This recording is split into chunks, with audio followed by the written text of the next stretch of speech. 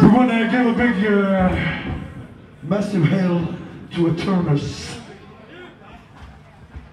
for joining us on this tour. Let's do it again. We are both from the same city, so uh, let's play a song called Over Bjoergvin Graater Himmerik. Yeah.